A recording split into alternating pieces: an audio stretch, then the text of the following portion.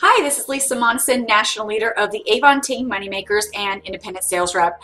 And today I am here to share with you first order placing instructions. So congratulations, new rep. I'm sure you're very excited to get started. And we want to make sure that you are getting your order in uh, successfully and properly. And so this tutorial is there for you, whether you're placing it late at night or super early in the morning. We want to make sure you have that support. So let's get started.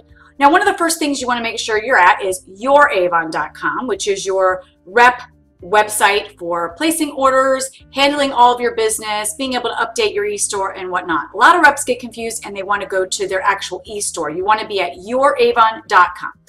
Once you're here, you want to make sure that you have already set up your account. So if you've not yet done that, you're going to want to click this button here and make sure that you've put in district number, account number, and the last four of your social and get yourself set up first.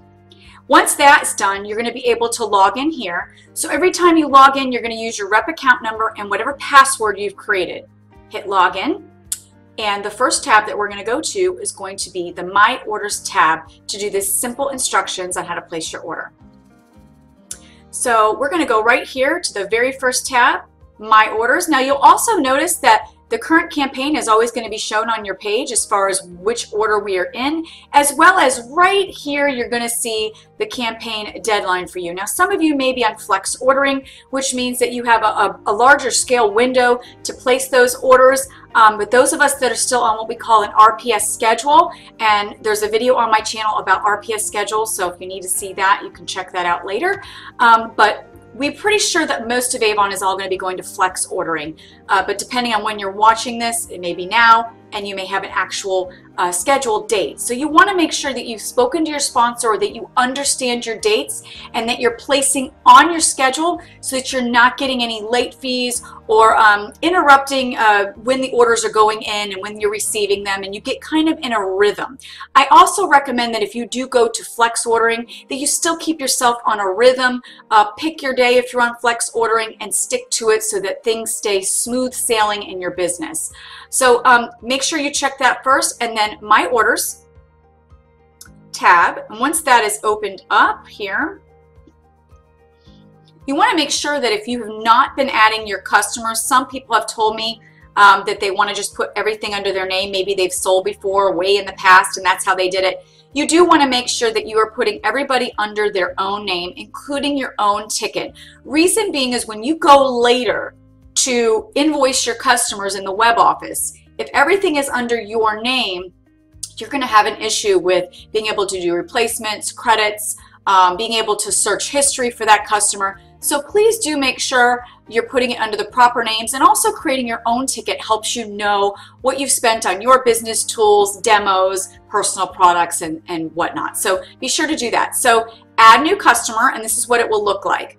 So you'll add their name, last name, if you have their email right away, absolutely try to get that and put it in phone number, address, and so on and so forth. Um, you can add more fields later, or let's say you just have a name and phone number right now. Make sure at least you put that in for now. You can always come back into the web office area later and update your address book and, and fix what you need to fix. But to be able to enter the order, make sure you at least have their name and phone number. Then you'll hit add new customer. Okay. Now you'll notice just for demonstration purposes, once that customer name is in there, all your customers are going to be able to type, for example, if I start to type M-A-R-Y, Mary, every Mary that I have is going to pop up, okay?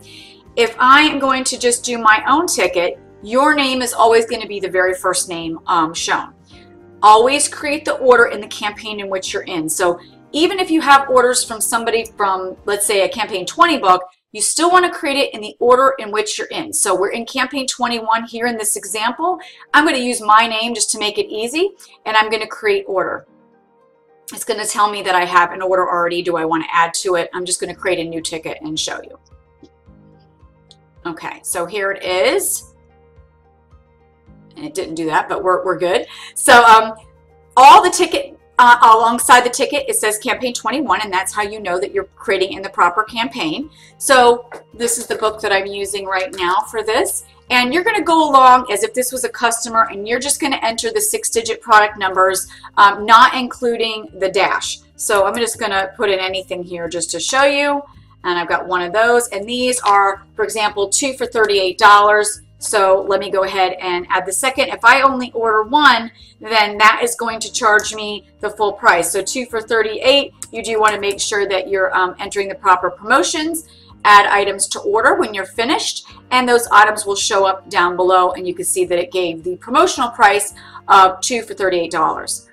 On the left-hand side, if it's your ticket, you can do all kinds of things from ordering your samples, and I want to show the order samples section because a lot of times when people click order samples, they think all we have is just foundation.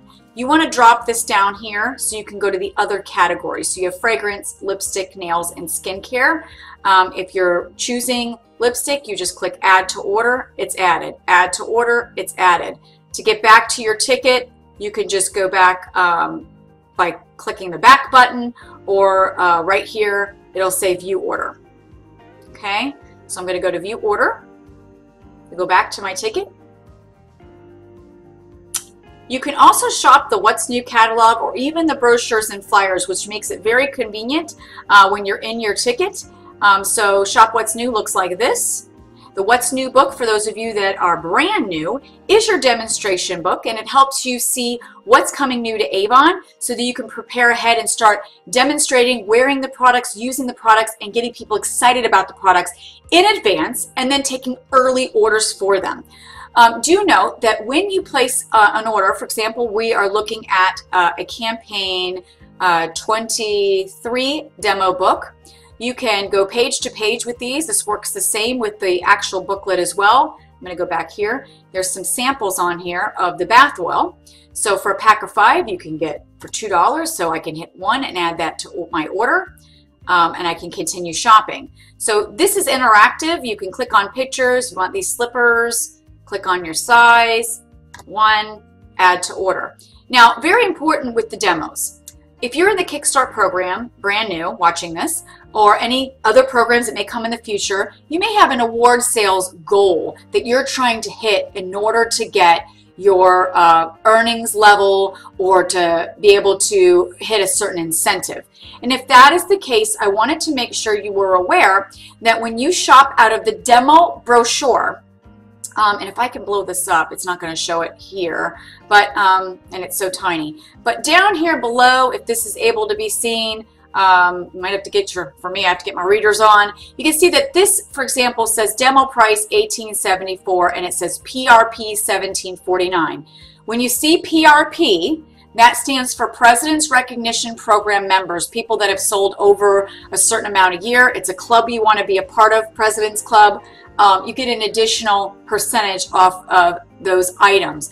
New reps, if you're in specific pro programs, are already getting a specific set discount um, or earnings level on products as long as you're reaching certain sales levels. Um, talk to your upline sponsor more about that. Um, if this is ordered out of the demo book, you are going to get the demo award sales towards your total sales. And we can pull it up like this. The book price is 14. So if you've ordered this out of the brochure, you will get the full 14. If you order out of the, of the demo book, you get the demo award sales towards your um, goals that you're trying to earn. So I hope that makes sense. Okay, and so you can just go through the demo just like this. You can change the books over here to the other demo books, and you can also go page to page just like that. Okay, so I'm going to go back to the item entry form, but I wanted to show you that little tip so that you would understand a little bit better about our demo books. And if it will go back. And so you can go throughout here and order your brochures, your samples, uh, shop the brochures that way. And also wanted to let you know that shop underwear is your bra section and undergarment section. So if somebody has ordered a Bali bra from you or a Playtex bra, do note that those items will be coming to you separately in an envelope in your mailbox versus your actual order. So do not panic. If you're looking for it in your order and you're like, it's not here, it is coming separately. If you look here at the drop down, Make sure you're choosing the proper category. So we've got Bali, Hanes, Just My Size. These are going to come straight from those warehouses. So don't be alarmed again if it's not showing up in your order. But first choose the proper um, product uh, name. So if it's Bali, and then find the proper product and then click add to order.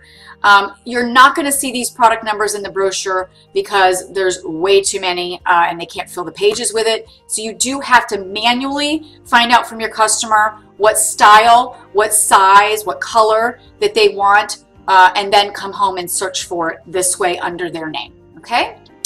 And once you have all of your products, um, and like I said, we're using an example here, and um, I haven't put all my customers in, so we're not going to be able to get through all the steps. But once you have um, all of your products and samples in there, you continue to add them. They will always save in the bottom. If we go back to the My Orders tab, once you have all those orders in the cart, you're going to see that it looks like this on the My Orders page down below. So I've got me, my mom, and another customer in here right now. And then of course direct delivery orders can be seen there. So when you're ready to send them, you're going to continue to build the cart up until you're ready to hit the submit button. Okay, so the goal is to get as many orders as you can before your deadline or before your day of order. Um, and then just continue to fill them each day that you get a new order. Come in here, add the customer if they're brand new. If they're not, pull up their name, create it in the proper campaign, create order, and then begin to um, fill the cart. Okay, once the cart is full, you're going to hit view all, and you're going to get to the step one of your order cart. When you're ready, you will hit select here. So you're going to make sure you've checked marked all of them, and it's going to move to the add extra section. So you hit continue and it's saying I have two customers served because like I said we're not I'm not at the end of my order. We're just mock mock doing this for you right now. Add extra. So this is where you're going to add your brochures. So they're in packs of 10 so let's say you want five of these for 50 of those and you want to do um, also a box here or you want to order some extra. Maybe you are running low on your current brochures there. You can do all of that they always give you special offers at extra here in the section. Continue to order summary. I'm to hit skip. Because I don't want to submit this because it's like mock. We're doing a mock order here. So then it's going to take me to step three. So you're to watch these at the top here. Um, and we will be stopping here because like I said I'm not submitting mine right now but this area is very interesting so when the order summary everything in green is stating that it is available and in stock and your yellow items are down here going fast. Red is going to be temporarily out of stock and the gray is going to be sold out. So this gives you kind of a, a roundabout uh, idea of what you will be getting and what you might not be getting. Also, if it's got a ticket, that means it's a promotion. You also have tabs here. This is fairly new with Avon where if you want to have less tabs shown or more tabs shown, um, you can do that. So you want to adjust it this way. So this is all customizable to you to make it easier for you to see. Um, the default display um, looks like this, and then I guess I've left it kind of the same on mine. And then when you're sure, you're going to see down here estimated orders, um, estimated taxes, going to give you estimated earnings, and you will then hit the submit button. Okay. So I'm going to back out of all this, but make sure you're following those steps here. Uh, when your order is finished and complete, you do want to be checking the My Account tab to make sure your order has billed out and that you don't have a balance to pay. The My Account area is where you make your payments to Avon and you'll want to make sure that you are checking that to make sure that you are in the clear and that your order has shipped. Um, not all the time can the upline uh, sponsor be able to see um, right away. It's better for the representative to be on it uh, on your own account to make sure your order has billed, shipped, and is on the way. So be sure to uh, check the Pay Avon area and make sure that you check under the Invoices tab over here to make sure you have an invoice. Once that's done, you will be able to uh, go to the Web Office tab, which is another video to invoice your customers. So that's it. It's as simple as that. I hope you've enjoyed this tutorial. Be sure to like, comment, subscribe, and oh, don't forget, hit that bell button on the channel so that you get notified when new videos pop from my channel. I thank you so much for watching and uh, love hearing from you. Uh, if you're not yet a part of Avon and are looking for a sponsor and an upline uh, and somebody referred you to this video, be sure to go back to them. But if not, if you've just stumbled upon this and are looking for a great team to join, we'd love to have you. You can click the link down below and get started even in the description bar. Have a great day and congratulations on your first order. Bye.